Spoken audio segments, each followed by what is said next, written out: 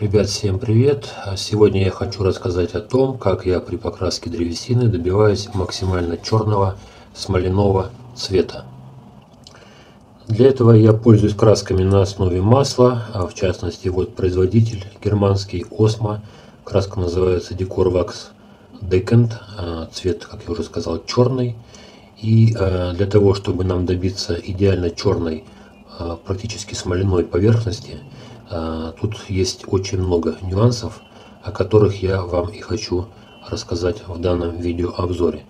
Для того, чтобы добиться черного цвета, я предлагаю под краску на основе масла, под черную краску на основе масла, положить черный грунт. В качестве черного грунта мы будем использовать любимую мною морилочку самодельную на основе уксусной кислоты и э, железных опилок или железной ваты, металлической ваты, либо просто гвоздей, как у меня. Итак, э, я сейчас покрою данный образец э, по данному способу. После того, как он у нас почернеет, а почернеет он очень хорошо, уж поверьте мне, После того, как он почернеет, мы можем нанести на эту поверхность, загрунтованную таким способом, мы можем нанести тоненький слой краски на основе масла. Теперь мы должны дать какое-то время на просушку. Еще раз напомню, что все краски на основе масла, они требуют нанесения на э, идеально э, просушенную поверхность. Влажность древесины должна быть 9 плюс-минус 3% не более того, иначе, э, соответственно, ухудшится адгезия и ухудшится впитываемость э, входящих в состав этих красок масел э, в толщу древесины. Ну а на обратную сторону, одну сторону мы сделали морилкой, на другую сторону давайте, чтобы деревяшку не переводить, я намажу краску на основе масла, но просто без морилки чтобы потом мы могли сравнить полученный результат. Итак, намазал я краску так, как положено. Получился вот такой цвет. Он, конечно, приятный, хороший цвет, но он не максимально черный. Нам нужно максимально черный цвет, потому что тема данного видео именно как сделать максимально черный цвет. Ну и теперь, когда наша морилка просохла, мы на поверхность наносим, как я уже сказал, тонкий слой нашей краски черной на основе масла.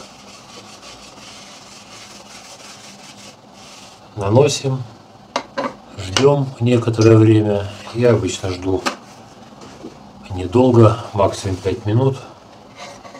В нашем случае можно даже совсем не ждать. И вытираем насухо.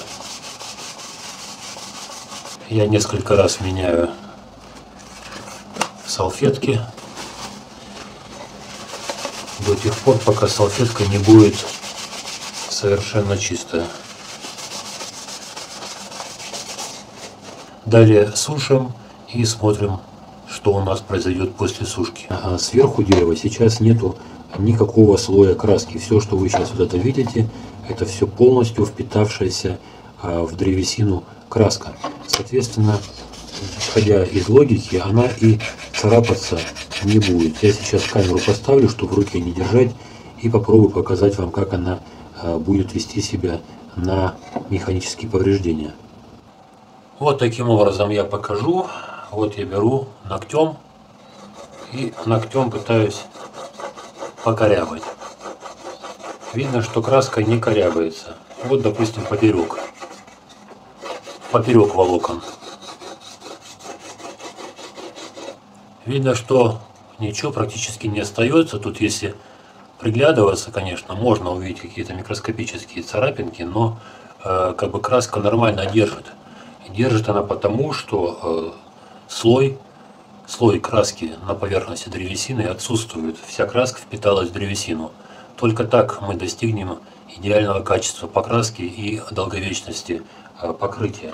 Почему нельзя красить просто краской жирным слоем, э, чтобы сделать, так сказать, за один проход жирный слой краски и большую цветовую насыщенность. Вот такой кусочек я покрывал. Я его здесь покрыл просто, просто вот этой краской, э, помазал толстым слоем. И вот давайте попробуем данную заготовку покорябать.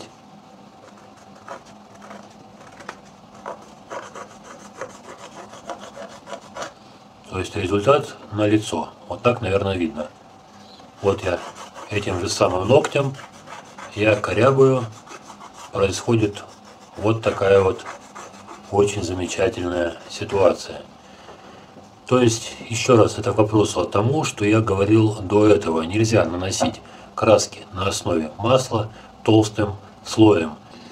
Но опять-таки вот этот образец, который мы подготовили, он не э, должен эксплуатироваться вот таком вот в конечном виде. Потому что любая краска на основе масла, она должна сверху защищаться финишным покрытием, тем же самым маслом, только прозрачным. Поэтому мы сюда нанесем масло с твердым воском, защитим его двумя слоями. Это нам даст еще и небольшое изменение цвета.